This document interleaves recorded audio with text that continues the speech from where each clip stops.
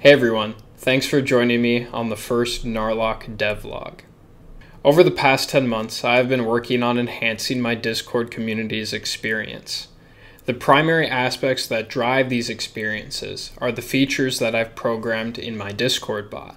My Discord bot is a pretty simple focus bot. If you join a focus or study room, you will get um, tokens based off of the amount of time that you spend. And with those tokens, you can use different operations that are offered by the bot.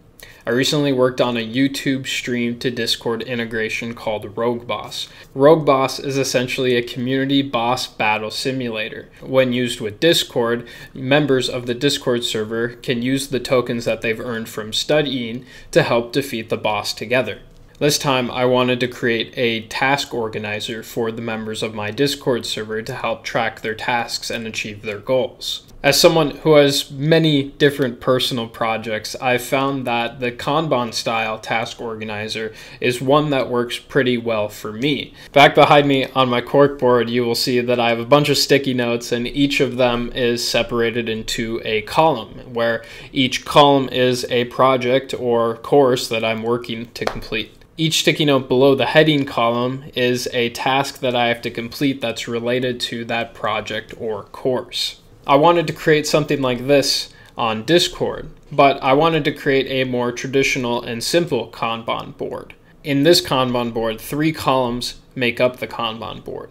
A to-do column for tasks that we need to do, a doing column for tasks that we are currently working on, and a done column for tasks that have been completed. After creating a vision of what I wanted the board to look like, it was time to create a spec for how I wanted the command to work inside of Discord.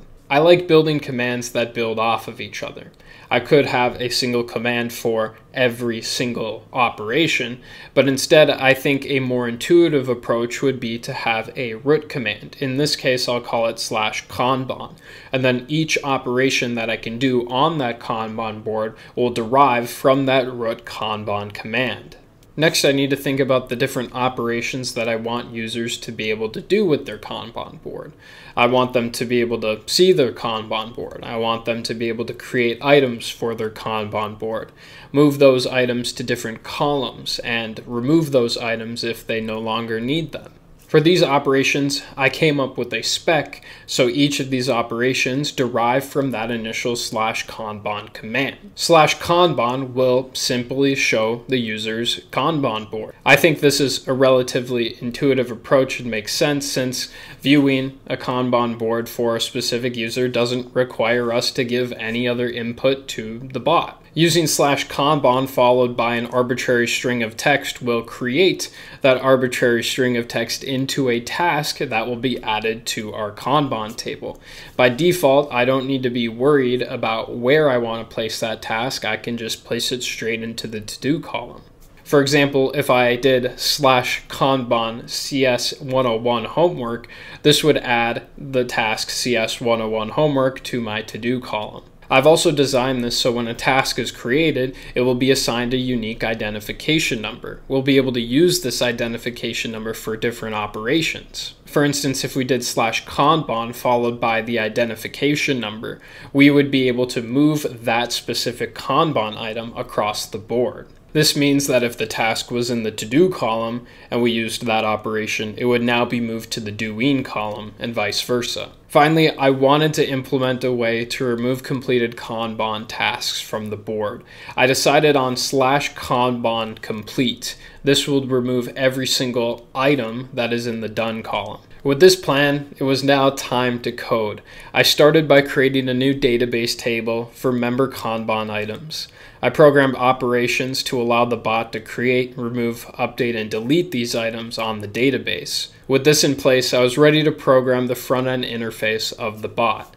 I started by adding the command definition for the Kanban command using the discord.py API then created the different branches I previously mentioned to make sure that we accurately track which operation the user is performing. Once this was in place, I was able to test out this command to make sure I was able to hit every single branch based off of the operation that I wanted to perform. After confirming that creating a Kanban item does not actually delete a Kanban item, I was ready to actually implement these. I wanted to provide a realistic Kanban style interface inside of Discord, and using Discord embeds, I was actually able to do this pretty seamlessly. By adding three different fields to the embed, I was able to create three different columns, and I gave each of those columns a title of to do, doing, and done, which obviously represent the different columns of our Kanban board. Following this, I was ready to test each operation, and I will say I think this actually turned out pretty good. However, there was one problem that I ran into,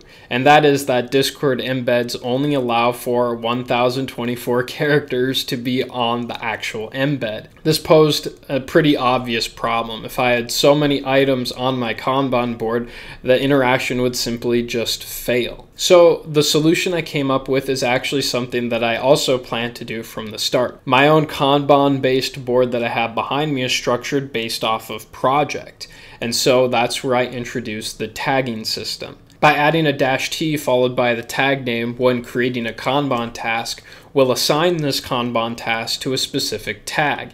A tag can be used, for instance, for projects or courses. Additionally, I want to be able to view each item if they belong to a specific course or project. I implemented this kind of view by doing slash Kanban tag followed by the tag name. This would only show a Kanban board with items that match that tag. I think this can be useful for people who are looking to separate different projects or courses just as I All in all, I ended up being pretty pleased with how this Kanban feature turned out. I also added some other commands too, such as removing a specific Kanban task, adding priority to tasks, moving tasks to a specific column, and updating existing Kanban tasks.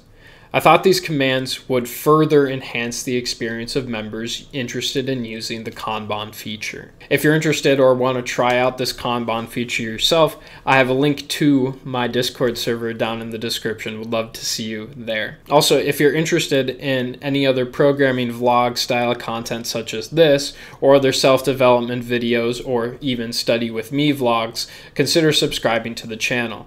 I do two plus hours of study with me content every single single day live on this channel, and I would love to see you there. That about wraps up the first devlog. If you made it this far, you were here. Thanks for coming in again, and I hope to see you soon.